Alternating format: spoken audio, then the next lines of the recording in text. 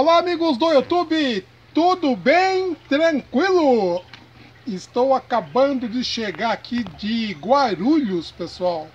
É, eu estive lá na Feira de Peixes Ornamentais de Guarulhos. É, todas as terças-feiras, das 11 até as 15 horas, todos os tipos de peixes, né? E eu acabei indo lá porque essa caixa d'água ela já concluiu tá, o ciclo biológico, já tem 30 dias de funcionamento, tudo direitinho, tá bom? E aí eu sempre quis colocar nela lambari, tá? Então eu fui em busca de lambari e eu encontrei. E aqui está então meus lambari, tá? É, eu comprei lá 800, né? 800 alivinos de lambari é, 20 centavos cada um deles, tá? E aqui eles estão, né? Aqui, ó, né? Vamos ver se a gente consegue aqui dar uma, dar um close, né? Aí, aí pessoal, coisa bonita, bacana, eita, delícia, né? É, quando eu cheguei, hoje está uma temperatura um pouco alta em São Paulo, estava 38 graus, né? E a temperatura do saco é um e a temperatura da caixa da água da caixa é outra. Então eu estou deixando aqui uns 15 minutos, 20, até meia hora aqui, tá? Para a temperatura da água que está aqui dentro, tá? Desta água que veio os alivinos, se iguale à temperatura da água da caixa, tá? Então vou deixar 15 minutos, aí eu vou abrir aqui, né? Vou de novo é, deixar mais 15 minutos com a água da caixa, depois vou só com a água da caixa e a água daqui de dentro, tá? Para se acostumando. E depois então eu vou soltando eles aos pouquinhos, tá? E eu digo para vocês, pessoal, vai ficar bonito, hein? Pensou 800 alivinos aqui, tá? Ciclo biológico bonito. Olha só como tá você, a biologia disso aqui, ó. Tá? Olha que bacana tá? E olha aqui vocês a oxigenação dessa caixa aqui, ó, né? Muito bacana, bacana mesmo. Mas pessoal, é o seguinte, tá?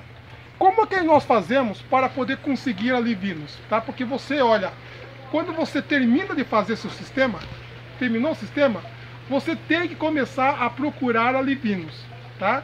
Dentro do possível, procure alivinos é, de qualidade, tá bom? É, por quê? Porque você vai investir tempo, você vai investir dinheiro na ração. E, e, a coisa mais chata que tem é quando chegar na época do abate. Por exemplo, eu quero com quatro meses fazer meu abate do lambari. Chegar na época do abate, os peixes não crescerem e você está insatisfeito com aquilo que você está criando. Isso aí é muito chato, né? Não deve acontecer. Então vale a pena você investir em procurar alivinos. Então, pessoal, eu vou dar para vocês assim algumas dicas de como vocês vão procurar então esses alivinos. Primeiramente, pessoal, procura na Google, tá? É, normalmente as pisciculturas elas têm sites, tá certo? E às vezes você não encontra uma piscicultura próximo da sua região, encontra muito distante, tá? Passear no mesmo estado, você dá uma ligadinha lá, pergunta para ele se é, por um acaso é, não conhece alguma piscicultura na, na, próximo da sua região, que normalmente as pessoas que é da mesma área de trabalho, é, eles se conhecem, tá? Então isso é muito importante. E hoje em dia também, algumas pisciculturas, é, você faz o pedido, tá? Eles mandam entregar na sua casa, aí você paga o valor é, do, do, dos seus alivinos e mais o valor do Uber, tá? Eles mandam como se fosse um Uber, né? Entregar para vocês aí, você paga o Alivino e o Uber.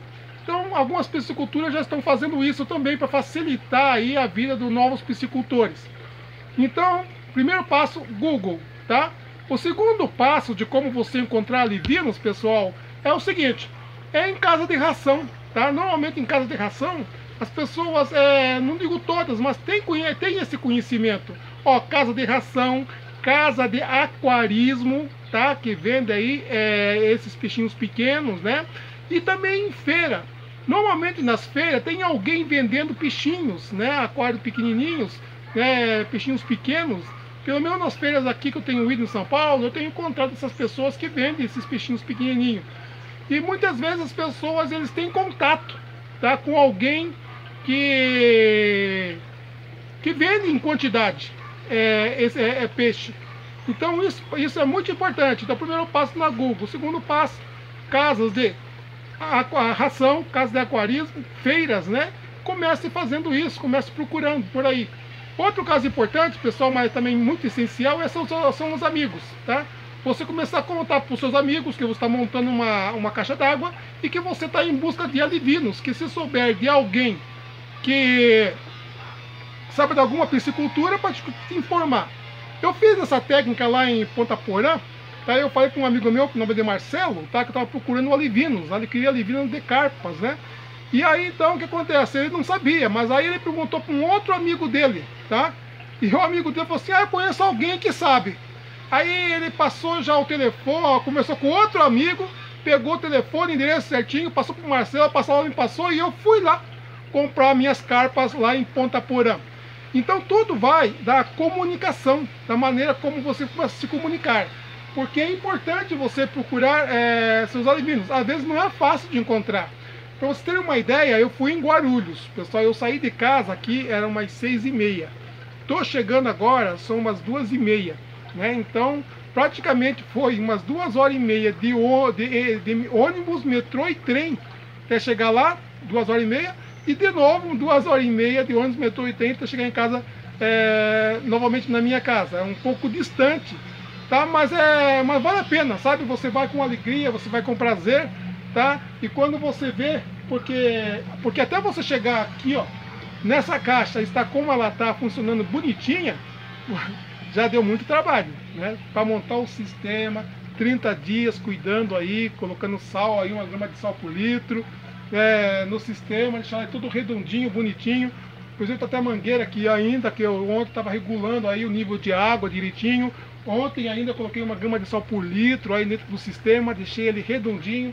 Já deixei aqui ó, também os tijolos ali, ó, aonde os alivinos gostam de entrar ali, tá? Eu sempre falo pro pessoal aí, ó, na fase de alivinos, deixar aí uns três tijolos no fundo da caixa, porque é bom para eles, tá?